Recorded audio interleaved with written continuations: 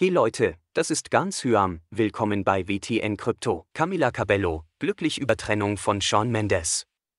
Als Shawn Mendes und Camila Cabello Ende letzten Jahres ihre Trennung bekannt gegeben haben, konnten es viele Fans nicht glauben.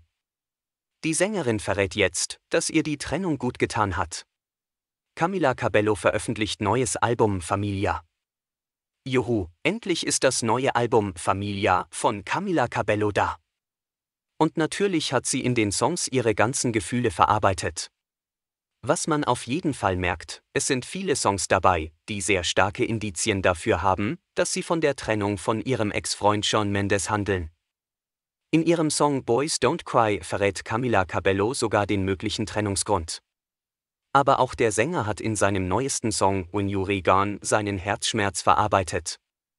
In einem Instagram-Video vor Release des Songs erzählte Shawn Mendes von seinem Trennungsfrust.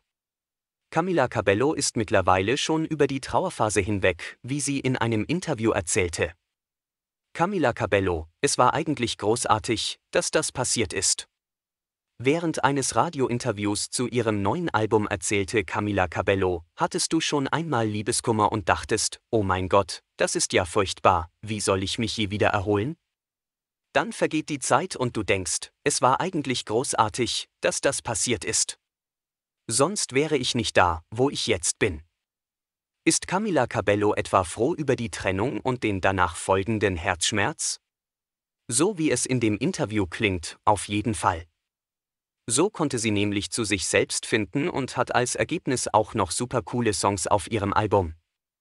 Leicht war die Trennung von Shawn Mendes für sie sicher nicht, aber es ist doch schön zu sehen, dass sie wieder vollkommen glücklich ist. Hey guys, this is Gansham. Welcome to WTN Crypto. If you want to more update regarding WTN Crypto, then subscribe our channel, press the bell icon, and thanks for watching our video. Thank you very much.